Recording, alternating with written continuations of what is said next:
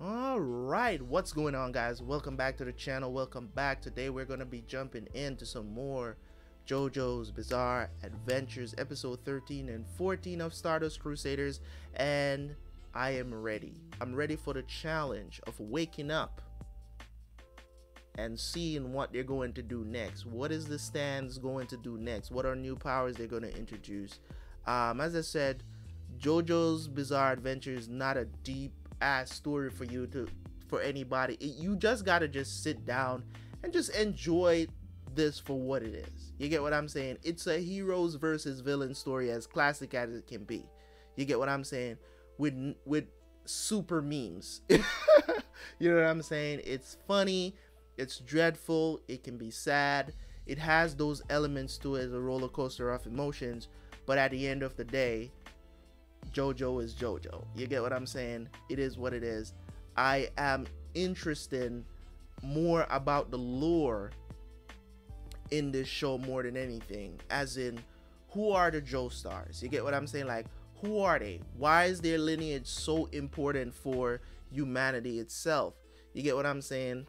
Um, so I think that's what's really keeping me watching to know more about the Joestars, and we're finding out more and more about them even in this season.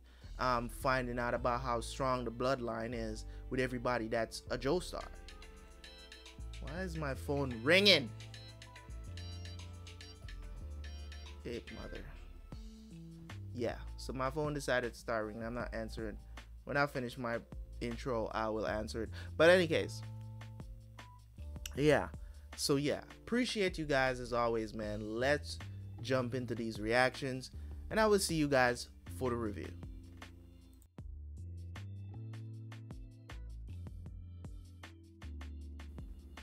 All right. So that was episode 13 and 14 of jojo stardust crusaders man. That was pretty cool.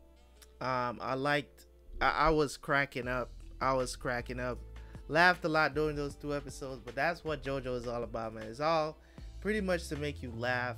There are some really scary, shocking moments. There's some really creepy.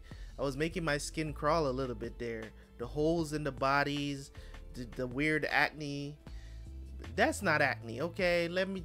Acne doesn't look like that. If acne looks like that, go to the doctor, okay? Go to the doctor. That's not acne, okay? That's something else. That looks like cancer growing on your face. Okay, that is not acne. Okay, got ugh, it was leaking. Oh, my skin is crawling again. Ah, just thinking about it. So these episodes are pretty cool, man. I like them. I like them. You know what I'm saying? Pretty cool episodes so far. When it comes on to these episodes, I just really like how they structure these episodes because it's like, okay, we're on this journey to Egypt, right? But they got to go through so many different countries to get there. And you might be wondering, why don't they just fly there? I mean, they have access to airplanes. Um, that is some, this is a question I'm asking too. But hey, it is what it is. They don't want to fly there, or maybe back in those days, they, you know, they couldn't catch a flight that far. Maybe they didn't have planes that flew that far um, I mean, it's a it's a it's a long trip to go from Asia to to to, to Africa. Period. So it's like, yeah, I mean, so I understand what they're doing that, but I'm enjoying the episodes, man. Um, girl left.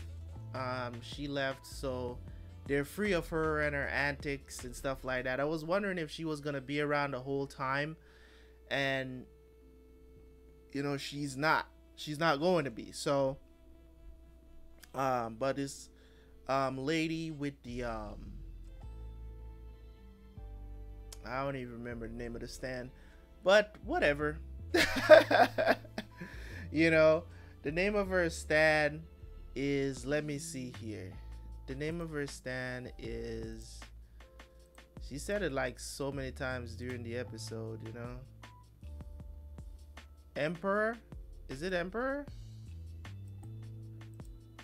Think it's Emperor 101 or something of the sort. I'm looking it up. I think it's Emperor 1 something of the sort like that. It's a weird name. Well, not really a weird name, but some of the times I, you know, like I'm trying to correlate the names. You know, I'm trying to correlate the names of the of the stands with the pictures that they show with the tarot cards, and it, I just most of the time I just I I can't figure it out. You know what I'm saying? So it's it's just weird to me. Most of the times I can't figure out like what it is, but like like I'm looking for it to be like the hangman. Doesn't really look like a hangman. You know. I mean, centerfold. He just got folded. You know. He just got folded, man. And I'm looking towards to see what they're going to do to, uh, you know. So it's like for me, you know, once she's out of the way, are we gonna go on to DOR? There's gonna be more challenges before they get to Egypt because we're in episode 14 with a good. Um, I want to say, um, how many episodes left? You know, now that we've watched 14, there's like before we get to the Egypt arc. The Egypt arc starts with episode 25, so 10 episodes left for for this main part of it, and then we go into the Egypt arc, starting with episode 25. So great stuff so far, man. Um, I wonder how they're gonna beat this old lady because she basically can control fog, like you know. And once they have a wound, she can get the fog into that wound and create those holes. So they gotta make sure that they don't get cut at all. You know what I'm saying? So I'm looking forward to seeing what they're going to do, man. Episode 13 um was really good. You know, with them against the dude with the car this the car stand whatever. That was a pretty cool episode. Um I like to see the different stands. You know what I'm saying? And how they're going to battle against those stands. We don't know what Dio's stand is yet. Um, but of course, we got to see Joseph use his stand for other other than you know just kind of like looking into the future or whatever. So I guess we'll see what they're going to do next. I appreciate you guys for sticking around to hear me mumble, but it is what it is. Not it's not gonna always be a long ass review all the time, okay? Especially when these episodes are really like they're just flying by, you know but I'm enjoying it. You know, it's a lot of funny stuff that happens. Like I was laughing my ass off, man. I was laughing.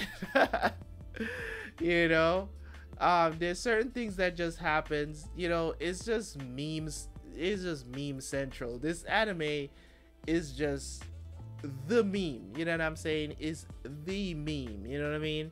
Um, it's just crazy how he got the dude thought he killed Jotaro is like, yo, part three is over. Let's go home. I win. I'm gonna be the main character now. I'm glad that they could make fun of themselves like that. You know, being self-aware, breaking the fourth wall.